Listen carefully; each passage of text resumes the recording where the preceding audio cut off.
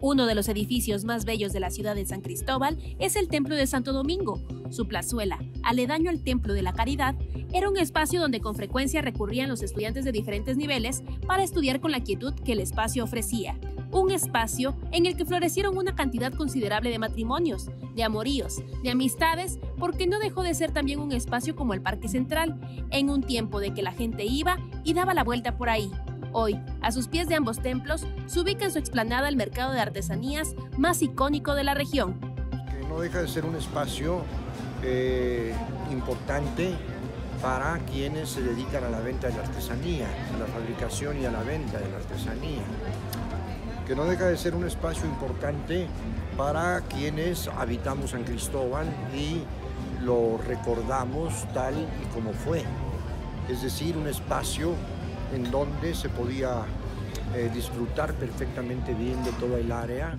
Las primeras expulsiones de indígenas provenientes de San Juan Chamula a principios de los 70 generó que estos se asentaran en San Cristóbal de las Casas y por lo consiguiente buscaran fuentes de empleo. Empezaron a trabajar pues como albañiles, como sirvientes en las casas o sirvientas, y como revendedores en el mercado Castillo Tielemans, siempre invadiendo, por la misma necesidad de trabajar.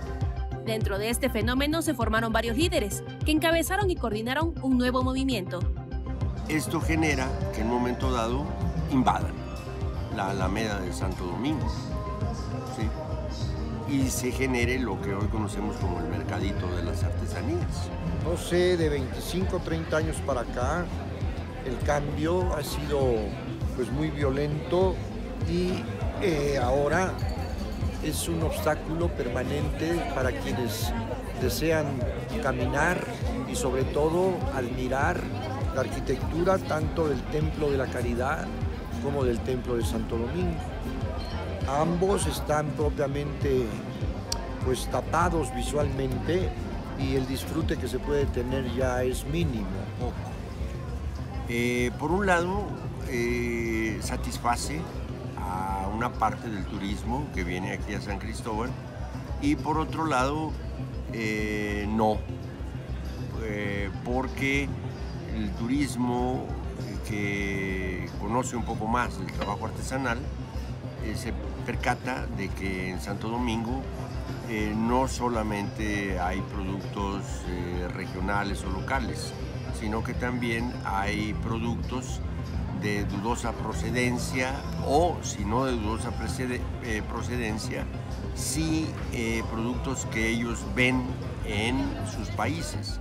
Es decir, cada vez se ven más productos chinos o procedentes de la India, restando originalidad a las piezas de la región. Entonces esto eh, crea una repulsión de diferentes intensidades. Entonces, eh, precios que son baratos eh, crean también una suspicacia, una duda, ¿no? Porque entonces se correlaciona el precio con la calidad.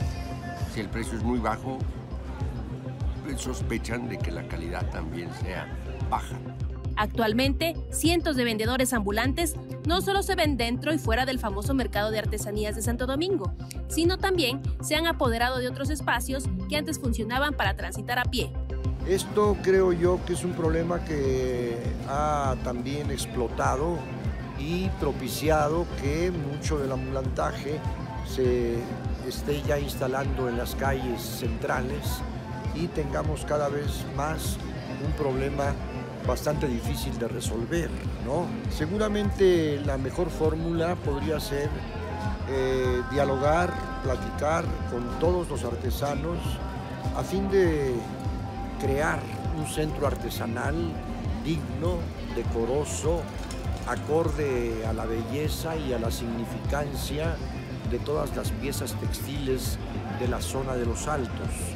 Un centro artesanal en donde se dignifiquen y se exhiban debidamente estas piezas, ¿no? Para Alerta Chiapas, Carolina Castillo.